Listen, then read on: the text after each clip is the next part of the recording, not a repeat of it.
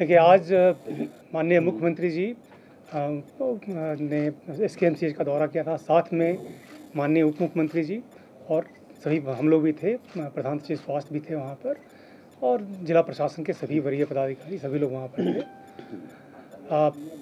माननीय मुख्यमंत्री जी और उनकी पूरी टीम ने आ, हर लगभग हर बेड पर हम लोग गए हैं वहाँ पर और उनके बारे में उनसे पूछताछ की गई है उनके अभिभावक से बातचीत की गई। और वहाँ जितने भी थे अभिभावक थे तो लगभग मतलब किसी भी अभिभावक ने भी अस्पताल की व्यवस्था पर कमेंट नहीं किया। रादर उन्होंने प्रशंसा भी किया कि जिस तरह से डॉक्टर्स वहाँ काम कर रहे हैं, बहुत अच्छा काम कर रहे हैं। और चिकित्सक भी बिल्कुल चिकित्सकों का जिस तरह से काम हो रहा था हम लोग भी काफ़ी संतुष्ट थे उससे कि जिस तरह से काम कर रहे हैं, लोग काम कर रहे हैं। फिर भी एहतियातत, सीएम साहब ने दो तीन डायरेक्शंस दिए हैं जो प्रेजेंट क्राइसिस है उसको उसको, उस पर काम करने के लिए। एक तो उन्होंने कहा है कि जो मेन फर्टेलिटी का, मरने का कारण जो हो रहा है उसमें पहुँचने में जो देरी होती है वह कारण होता है। तो यह कहा गया है, फिर से रिटरेट किया गया है कि मरीजों को पहुँचाने में उनको किसी भी तरह का खर्च वहन नहीं करना पड़ेगा? या तो सरकारी एंबुलेंस है तो सरकारी एंबुलेंस वो किसी भी गाड़ी से आते हैं, उनको हम लोग रिम्बर्स करेंगे पैसा, और फ्लैट रेट पर चार सौ रुपये हम लोग रिम्बर्स करेंगे। तो चाहे किसी भी गाड़ी से आए, हम लोग इतना ही उन सब इस आपके माध्यम से चार सौ रुपये का रिम्बर्समेंट करेंगे उनको मतलब आने जाने का। और आपके माध्यम से हम लोग चाहेंगे कि वह प्रचार भी हो, कि वह किसी भी गाड़ी को पकड़कर अगर जितना जल्दी पीएससी तक पहुँचें या एस के पहुँचें या केजरीवाल अस्पताल पहुँचें और ट्रीटमेंट की पूरी व्यवस्था है। दूसरा डायरेक्शन ये दिया गया है कि वैसे तो चिकित्सकों की वहाँ कमी नज़र नहीं आ रही थी और सारे चिकित्सक मनयोग से काम कर रहे हैं। फिर भी उनको सप्लीमेंट करने के लिए क्योंकि पाँच छः दिन से क्राइसिस चल रहा है तो कुछ चिकित्सक बाहर से भेजे जाएँ।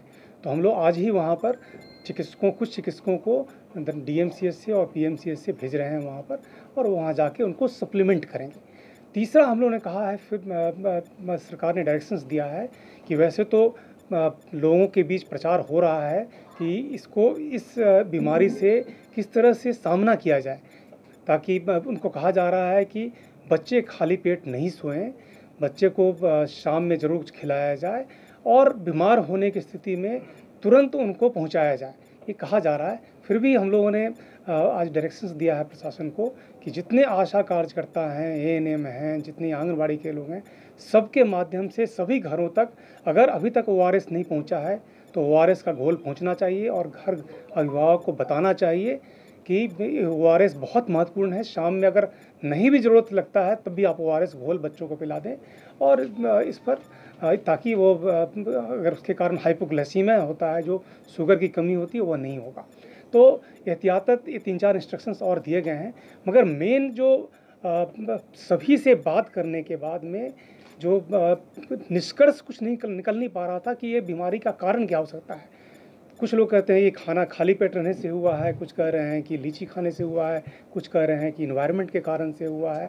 और जब हम करीब पचास सत्तर बेड्स पर हम लोग गए हैं तो सबके अलग अलग बैकग्राउंड थे।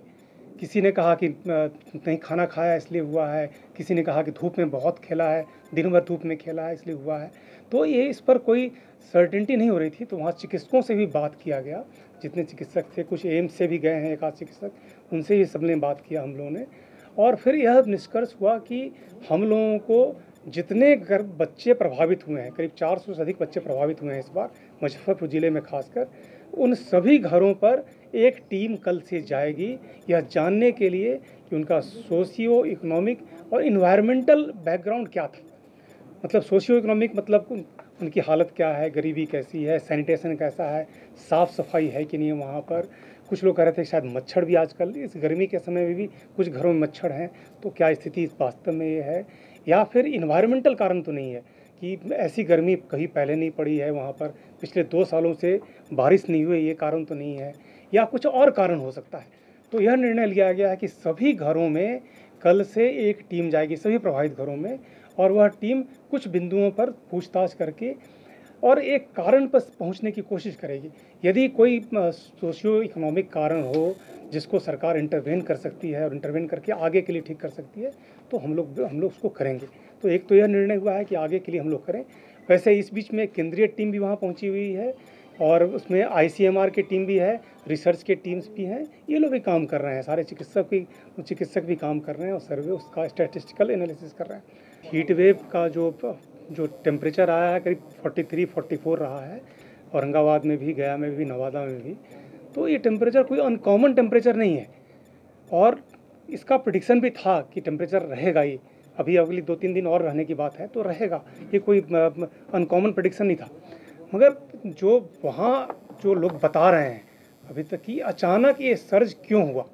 तीन बजे पंद्रह तारीख को सोलह पंद्रह को पंद्रह। को तीन बजे अचानक क्या हुआ ऐसा कि तीन से पाँच के बीच में पैंतीस औरंगाबाद में और यहाँ बारह यहाँ बारह आ गए?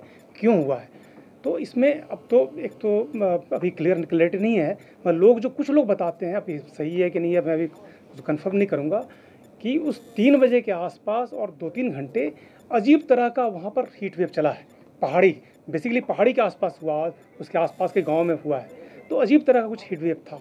तो हो सकता है कि टेम्परेचर चवालीस रहा होगा टाउन में, औरंगाबाद में चवालीस रहा होगा पहाड़ी के आसपास हो सकता है दो तीन डिग्री एक्स्ट्रा रहा होगा। हो सकता है। तो इसको हम लोग कंफर्म करने की कोशिश कर रहे हैं क्योंकि इसके बाद तो जिस तरह तो इसलिए इसलिए मगर है कि हीट वेव था हीट वेव तो रहा ही है तभी तो इतने इतने डेथ भी हुए हैं। तो ये तो है प्रडिक्शन था इसके बारे में। जो तस्वीर आप देख रहे हैं और जो तस्वीर हम देख के आए उसमें ज़मीन आसमान का अंतर है। आपने कहा वहाँ व्यवस्था बहुत अच्छी है। हम्म। लेकिन वहाँ पानी की प्रॉब्लम है। हम्म। लोगों को बाहर से पानी लेना पड़ रहा है। हम्म। वहाँ जितने भी पानी के लिए जो लगाए गए हैं आरओ वगैरह वो खराब हैं। डॉक्टर्स जो हैं, उनके पास हमने जो देखा, वहाँ ऑक्सीजन भी नहीं लगा हुआ है। ऑक्सीजन लगा हुआ था, लेकिन उसमें ऑक्सीजन सिलेंडर में बिल्कुल खाली था। तो आप जो तस्वीर देख रहे हैं और मेरी, हम जो तस्वीर देख रहे हैं, उसमें इतना अंतर क्यों? अब आप ही, अभी थोड़ी देर पहले आपने बताया कि हम लोगों सत्तर लोगों से बात की। हमने भी लगभग इतने लोगों से बात की। हमारे पास वीडियो फुटेज भी हैं, जिसमें कह रहे हैं कि वहाँ स्वास्थ्य सुविधाएँ बेहतर नहीं है। और जो आपने ये कहा कि आ, लोगों को लाने में देरी हो रही है जिसकी वजह से मौत हो रही है। क्योंकि उन्हें जो स्पॉट है वहाँ पर उनको ये सुविधाएँ नहीं मिल रही। इसके बारे में क्या कहेंगे? क्योंकि जो छोटे छोटे जिला है सदर अस्पताल है वहाँ से जो बच्चे हैं उन्हें लाने में बहुत प्रॉब्लम हो रही है और वो सीधे एस के एम सी एच रेफर कर रहे हैं। बीच में अगर इलाज मिल जाए तो ये बच्चे बच नहीं सकते। देखिए ऐसा है कि इस चीज़ को हम लोगों ने भी जो लोगों तक मैसेज दिया यही मैसेज दिया है कि आप पीएससी तक जाइए, वहाँ पर भी सारा अरेंजमेंट किया हुआ है डाइप जो शुगर चढ़ाना है सलाइन चढ़ाना है, उसकी व्यवस्था वहाँ भी है। मगर अभी आप अगर पूरी आप देखेंगे जो फिगर बच्चों का आया है, वह मुसहरी ब्लॉक का है, जो बिल्कुल बगल में है कांटी से है और मीनापुर से है, जहाँ अधिकांश बच्चे आए हैं। ये तीनों का लोकेशन ऐसा है, जहाँ से एस के एम सी नज़दीक पड़ता है। तो जो अभिभावकों से मेरी बात हुई, उनका कहना था कि हम लोग पीएससी नहीं जाने के बजाय हम लोग को लगा कि सीधा एस के एम सी चलो या केजरीवाल चलो। तो इसमें देरी हुई है। तो अब है कि ऐसे में अगर एंबुलेंस चाहिए तो उनको तो कॉल करना पड़ेगा। 102 में 108 में कॉल करना पड़ेगा। इसलिए हम लोगों ने व्यवस्था किया कि आपको कॉल करने की ज़रूरत नहीं है। जो गाड़ी मिले उसी को लीजिए और पहुँचिए। अगर एस के जाना तो पहुँचिए वहाँ पर। वैसे पी एस में सारी? व्यवस्था को पच्चीस सौ बेड का बनाया जाएगा। अभी छः सौ बेड छः सौ दस बेड का अस्पताल है तो पच्चीस सौ बेड का बनाया जाएगा और अगले एक साल में पंद्रह सौ बेड को पहुँचाया जाएगा। यानी 900 बेड का एडिशन अगले एक साल में किया जाएगा और उसके बाद क्रमशः 2500 बेड तक पहुँचेंगे।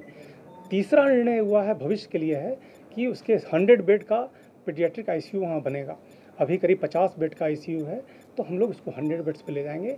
और चौथा निर्णय हुआ है कि वहाँ पर एक बड़े धर्मशाला का निर्माण कराया जाए, क्योंकि अभिभावक भी आते हैं, बहुत सारे आते हैं तो वहाँ रहने की कोई खास व्यवस्था नहीं है तो एक धर्मशाला का निर्माण कराया जाए।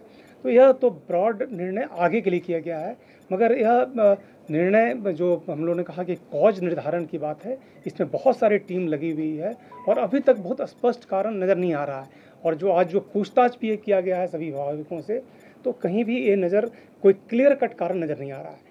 कुछ लोग जैसे दिन में ही बच्चे बीमार पड़े हैं तो दिन में तो दिन में भी खाना खाया है, सुबह भी खाना खाया है और शाम में पाँच बजे बीमार पड़ा है।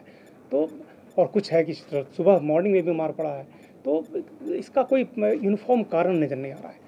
तो कुल मिलाकर यही था और वहाँ पर हम लोग और हम लोग पूरी सभी लोग थे, वरीय पदाधिकारी भी थे और माननीय सीएम साहब, माननीय उप सीएम डिप्टी सीएम साहब थे।